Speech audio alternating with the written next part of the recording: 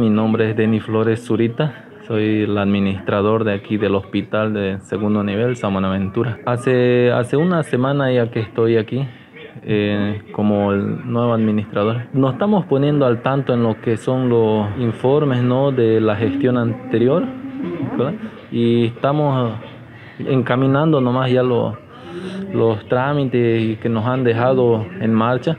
Como sabe, en cuestión de salud no, no puede haber lo que son cuestiones políticas. Así que hay que darle curso porque aquí los únicos beneficiados tienen que ser la población y no podemos eh, hacer nada en cuanto a eso. Así que a, a, seguir nomás con todo esto que se ha estado trabajando, con la, continuar con las gestiones. Sí, tenemos un, un aproximado, ¿no? Que tenemos un registro de algo de 138 botellones aproximadamente que, se nos, que, hemos estado llenando, tanto para aquí, para nuestro municipio, como para las poblaciones aledañas, como Ser, tenemos San Borja, Rurrenabaque.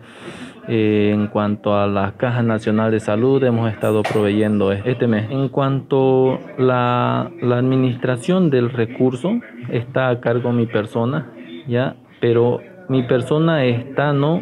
doy cuenta a lo que es la, conforma, a la conformación que hay un comité pro oxígeno, ¿ya? Entonces, eh, es así que se trabaja con, eh, de la mano del comité pro oxígeno para la para lo que es la, el pago de salarios y todo, a nuestros técnicos que tenemos en la planta de oxígeno. O sea, es una planta que con el tiempo va a tener que llegar a ser autosostenible, ¿no?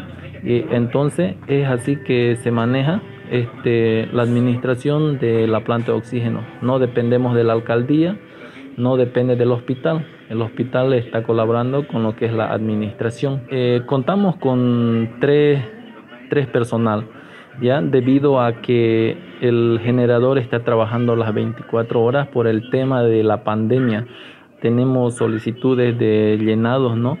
de varios municipios, así que requiere el que se trabaje las 24 horas en la planta. En, en cuanto al oxígeno que se debe, hay, hay en la anterior gestión deuda del tema de oxígeno, ¿no? en la cual estamos trabajando ya. ¿O debemos? Eh, debemos, ¿no? Eh, ese tema de los botellones, pero en la cual entre esta semana ya estamos subsanando el tema de, del oxígeno.